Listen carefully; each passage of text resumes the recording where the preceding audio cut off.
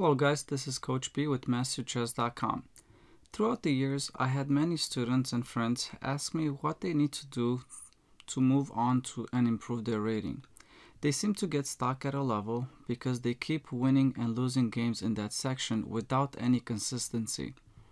They can't seem to figure out what they need to work on to be able to win more consistent and reach a higher rating group.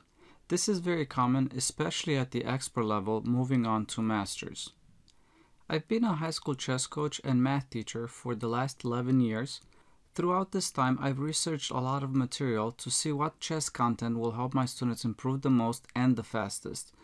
I teach in a high school where more than 60% of the students have a free lunch, and almost all the students that I had, with the exception of three, have never had any chess experience other than just knowing how the pieces move and just playing for fun with friends and family.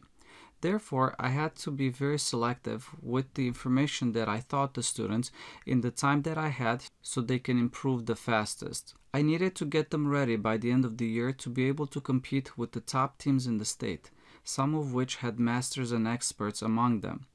This year, I had a great success story when my board one, who is a senior and only 1300 rated, went undefeated at state on board one.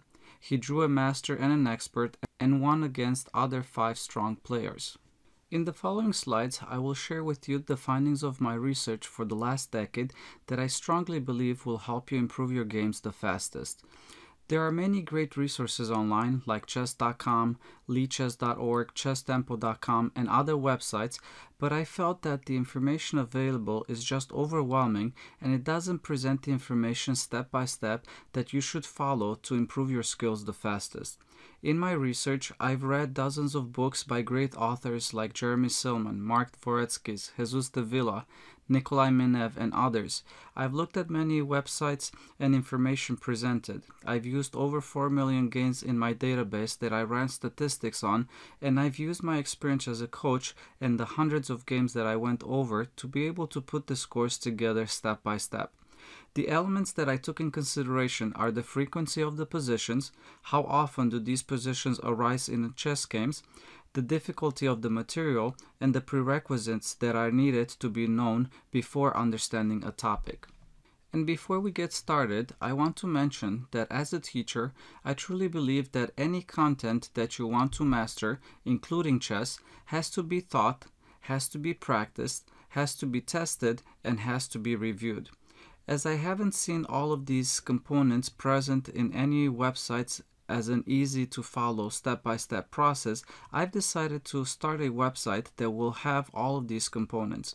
This is a work in progress for many years to come, and I am slowly going to make the lessons on the content that will be presented in the following slides. So let's get started. First of all, what should you work on first after you know how the pieces move? Well, you need to know how to checkmate with the king and rook versus a king, and king and queen versus a king. These positions happen very often and usually when you are in time trouble, that I recommend practicing them against a friend or a computer with 2 minutes left on your clock and a 5 second delay. Then you need to know a few tips about winning with the queen versus a minor and the 5 basic draws in chess, which include king and a bishop versus king, king and a knight versus king, king and two knights versus king, king and rook pawn versus king, and king and rook pawn plus bad bishop versus king. Learning this material should get you from 100 rating to 300 rating. Moving from 300 to 800 rating, you will need to learn some tactics. These include forks, pins, skewers, removing the defender, discovery attack, deflection, and checkmate combinations in two or three moves. After learning what these strategies are, you will want to start a workout every day of about 10 puzzles a day. You can find these tactics for free on chesstempo.com, lichess.org, or if you have some money that you want to invest, you can use chess.com or chesskid.com and other websites where membership are required. Most of these websites are mobile friendly or they have apps for mobile phones and it will be very easy to practice these type of tactics. Going from 800 to 1200 in rating, you want to spend some time on studying some strategies. These will include opening principles, what do you need to do in the beginning of the game, pawn structure, weak squares, the difference between an open and closed game, which pieces to trade and which pieces to keep for the endgame. And also, I would recommend learning a basic opening, just 6 to 8 moves into the opening, not an entire repertoire yet. You just want to know where to position your pieces and to make sure that you're castled so you could start the game well. The openings that I would recommend at this level for white, and they can be found on my website, are the basic Queen's Gambit opening for white and the basic Caro-Kann for black.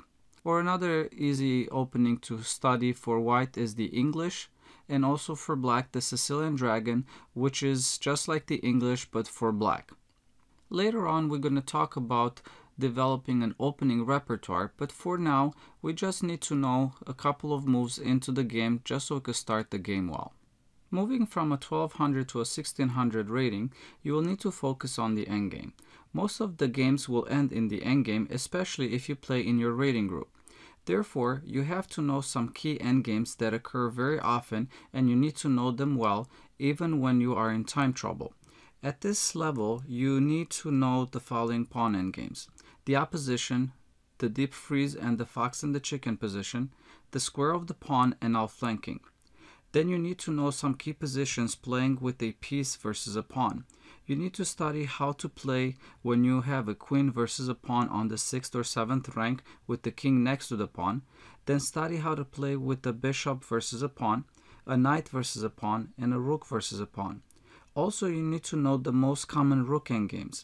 Research says that rook endgames are the most frequent and they have to be known very well as well.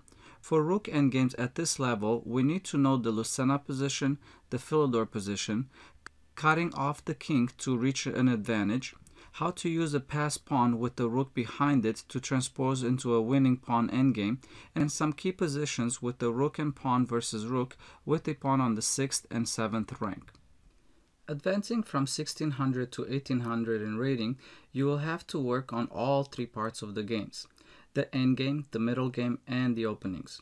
You will need to learn the following pawn endgames the mined squares, the positions involving two connected pawns versus one pawn, excluding the rook and knight versus rook pawn, which is a more challenging topic and will be discussed later, self protecting pawns, the outside pass pawn, the protected pass pawn.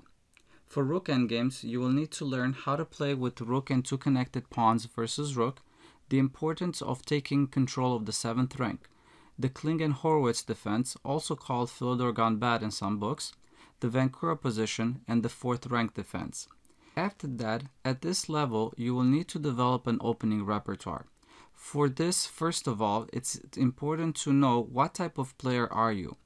Are you an attacking player that likes to take risks and play different combinations and sacrifices to checkmate? Are you a player that does not like to take risks? You rather play careful not to lose any material. Do you like open or closed games? Do you prefer positional play or do you prefer tactical gameplay with opportunities for combinations? I will talk more about this topic when I will make a lesson on how to build your own opening repertoire.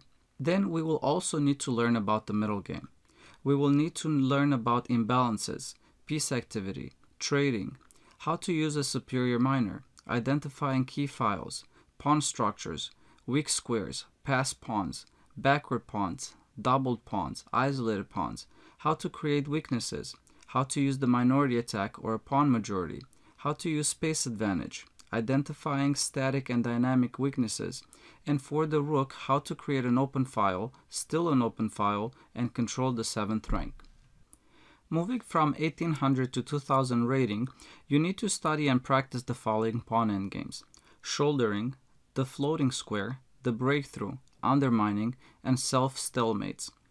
Also, at this level, you need to study the following games with minors opposite color bishops, two bishops versus king, bishop and two pawns versus bishop, same color bishops, and rook versus bishop or knight. For rook endgames at this level, I recommend studying the defense with the king attacking the pawn from the rear, this distant checks defense with the king on the short side and on the long side, and some important tactical elements. Going from 2000 to 2200, I recommend to learn the last of the pawn endgames, which includes pawn races and counting, king races including dual purpose moves, zigzag and pendulum, triangulation, reserve tempi, principle of two weaknesses, blocked rook pawns with an extra pawn, and connected knight and rook pawn versus rook, the bird's collar principle. For endgames with minors, you should study rook versus rook and bishop, bishop versus knight with the passed pawn, and checkmate with bishop and knight. Also at this level, you should study rook plus two pawns versus rook, rook and pawns versus rook and an extra pawn, queen versus rook and pawn, queen and pawn versus rook and two pawns, and queen endgames. And in the end, what should you do to go beyond master level? Well, you should study how to checkmate with king and queen versus rook, and you should study the third rank defense when you have the rook versus a queen to really test the other player if he knows the winning pattern with the queen. Also at this level, you need to start a work plan for reviewing previous learned information. There was a lot of things that you had to learn to reach this level and it is very likely that you will start to forget quite a few things. You should continue to work on tactics every day, especially before a tournament. You should keep all your games in a database and go over them with the grandmaster or coach to find common problems in your games. You should read chess history and watch videos explained by grandmasters to see how they are thinking. Memorize grandmaster games, especially those that follow your opening repertoire. Study some unorthodox openings and the ideas behind them so that you could catch high graded grandmasters by surprise.